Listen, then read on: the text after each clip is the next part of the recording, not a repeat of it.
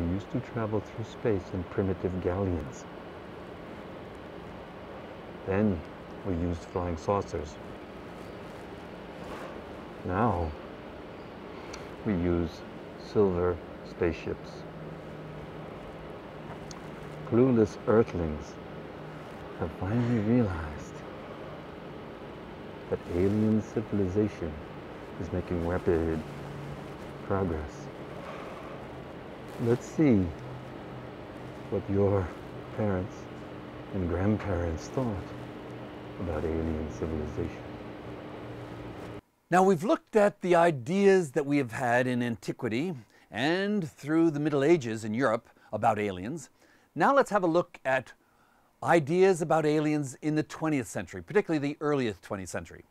Now, here is H.G. Wells, and he wrote a very well known book called War of the Worlds in 1898. And in this book, there are monsters that come from Mars and going to take over the Earth.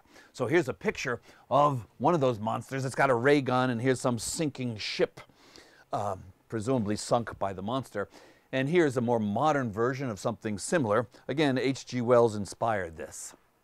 Now, H.G. Wells in 1901 wrote a book called The First Men in the Moon, and here are the two men who went to the moon, and here are the inhabitants of the moon. They're called Selenites, and here they are in their beautiful city walking on these walkways. And here's an image of the two men looking at the Selenites and saying, Insects? Are they insects? And that's what they look like. So H.G. Wells thought the inhabitants of the moon were kind of like insects. Now, in 1908, H.G. Wells wrote a piece called The Things That Live on Mars. And here's an image of the things that might live on Mars. And he wrote, There are certain features in which they are likely to resemble us. And as likely as not, they will be covered with feathers or fur. It is no less reasonable to suppose, instead of a hand, a group of tentacles or proboscis like organs. Now, Giovanni Schiaparelli, he lived until 1910, and he looked at Mars very, very closely during times of the year when Mars was very close to the Earth. And based on his observations, he made maps like this, and he called these little lines canali, and which translates roughly into canals. And uh, um, an American, Percival Lowell, a rich guy, he took this word canali very seriously and he made a map that looks like this and he thought these were irrigation canals because Mars was drying out and the Martians need to move water around. And so, but when you compare modern pictures of, from the Hubble Space Telescope of Mars with these uh, pictures from 100 years earlier, you can see that they don't correspond. There, there are no canals on Mars. Now, Alfred Russel Wallace was the co-founder of Darwinism. And in the year 1903, he wrote a book called Man's Place in the Universe, trying to figure out how does man fit into the universe. And he thought that the sun was in a very special place in the galaxy. Uh, there was some evidence for that at the time he wrote. But he went even a lot further. He, he wrote, Humanity's place in the universe is special and probably unique. The supreme end and purpose of this vast universe was the production and development of the living soul in the perishable body of man. So that's one view of humanity's place in the universe by the co-founder of Darwinism. Now, here's another view. He's an artist, Frank R. Paul, one of the renowned artists of the early 20th century, and he wrote, he made pictures like this of, of uh, human astronauts. They have those big helmets on, and they're being chased here by an alien that looks like a buzzsaw. And they're quickly running for cover inside of their spaceship, but luckily humans have ray guns that, to protect themselves from such aliens. And he wrote a whole series of pictures of the inhabitants of the different planets of our solar system. So, for example, here in the lower left, you'll see the, the inhabitants, they're red, of the quartz city on Mercury. And then there are the inhabitants of Venus. Obviously, they're bipedal and they're waving hello. And if you read carefully, it says, a scientific conception of life on Earth's nearest neighbor. Science says Venus is a sister world, and human forms of life are more possible than on any other planet. Now, this was in 1939, and we really have made a lot of progress in figuring out.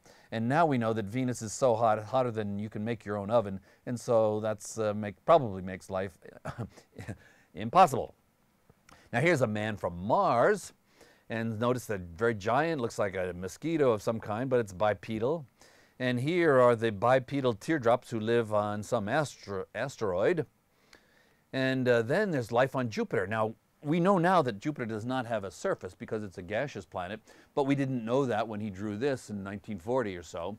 And he says that the gravity is so strong that humans, to get around, they have to live inside of tractors, and the inhabitants of, of uh, Jupiter are so strong that they're kind of have, they have to have very, very, very strong legs to walk around.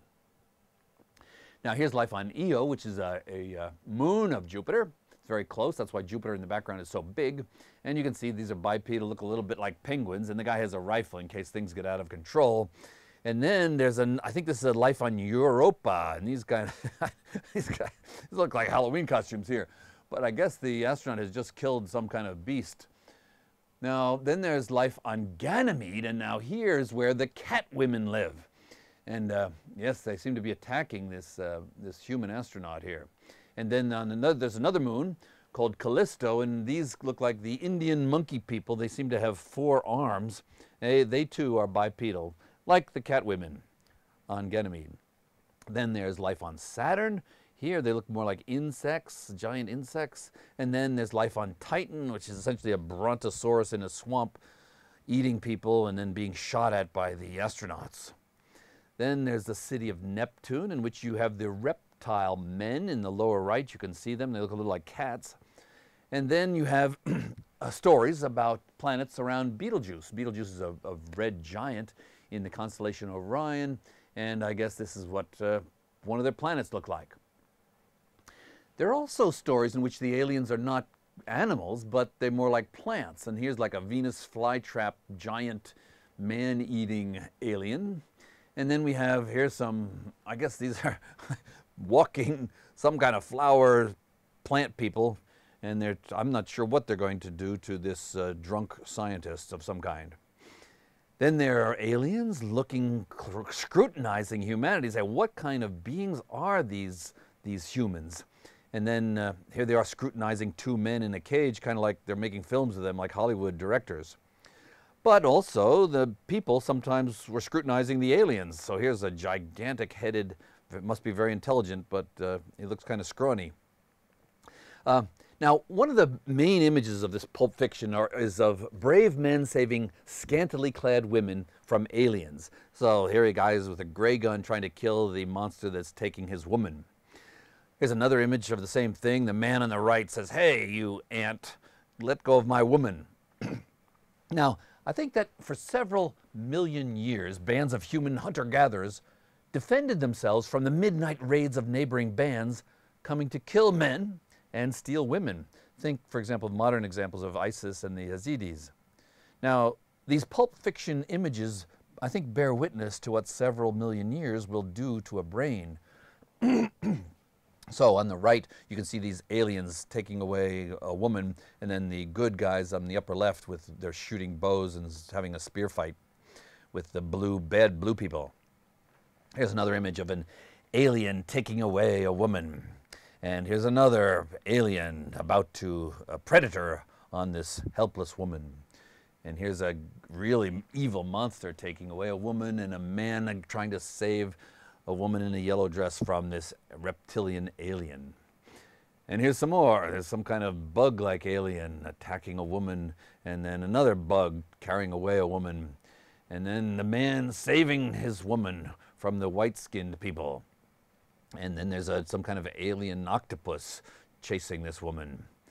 And there's the chicken man running away with a woman, and the astronauts on the left trying to say, hey, give us back our woman.